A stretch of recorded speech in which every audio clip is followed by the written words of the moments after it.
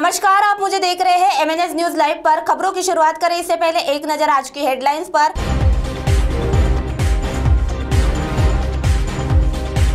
देसी कट्टा और ज़िंदा कारतूस के साथ युवक गिरफ़्तार। दुर्गा नगर शाला में टीकाकरण केंद्र प्रारंभ। कल सेमिनरी हिल्स टंकी में जलापूर्ति नहीं।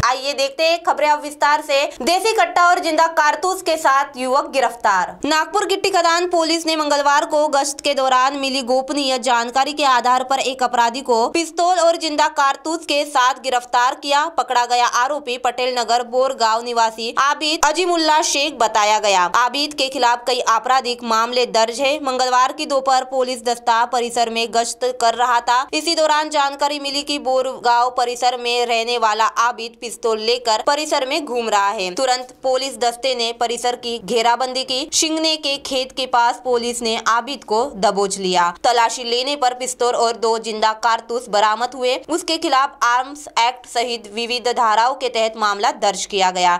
DCP Vinita Sahu ACP B A Nalawade और इंस्पेक्टर गजानन कल्याणकर के मार्गदर्शन में सब inspector Datta Pindkar D C Patel, head constable Yuvraj Dhole, Imran Shaikh, Ishank आटे, संतोष शेंद्रे और और आशीष बावनकर ने कार्रवाई को अंजाम दिया। तो वही दूसरी ओर दुर्गानगर शाला में टीकाकरण केंद्र प्रारंभ।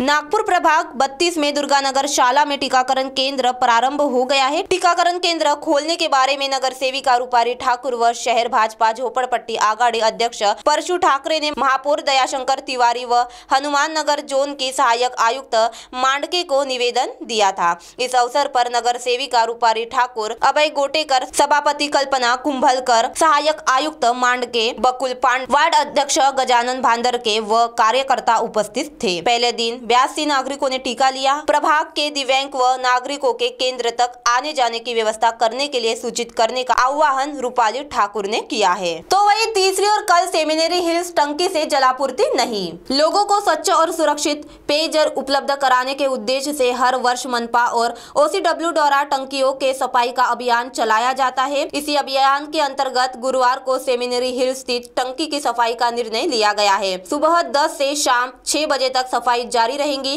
अंत इस टंकी से होने वाली जलापूर्ति खंडित रहने की जानकारी मनपा द्वारा दी गई है। इस दौरान कृष्णनगर विश्वास नगर आईबीएम रोड, गोंड, मोहल्ला, भीम टेकड़ी, मानवता नगर, न्यू ताज नगर धम्म नगर मानव सेना नगर, मलवार कॉलोनी, गोरखेड़े, वसाहत, नेलको सोसायटी सत्यंग कॉलोनी, सुरेंद्रगढ़ बस्ती, सीपीडब्ल्यूडी कॉलोनी, मानवता नगर डब्ल्यूसीएल कॉलोनी एमईसीएल कार्यालय, दूरदर्शन कार्यालय आदि को जलापूर्ति नहीं हो सकेंगे। टंकी की जलापूर्ति ही खंडित होने से टैंकर के माध्यम से भी जलापूर्ति संभव नहीं होने की जानकारी दी गई है।